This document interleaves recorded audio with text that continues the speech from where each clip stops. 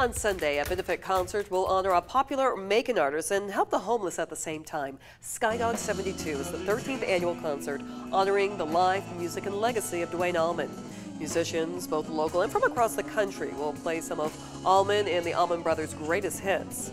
This year, the concert benefits the Daybreak Center in Macon, which provides services to homeless. Admission is free with a donation of three toiletry items like toothpaste, razors, and deodorant. Celebrate the life and legacy of the late Duane Allman, who would have been 72 years old on November the 20th of this year. Um, the musical impact he had on Macon and Middle Georgia and the world for that matter, and has influenced all the players in this room with, with the Allman Brothers. Concert's going to be held at Central City Park in Macon from 12 to 5 on Sunday.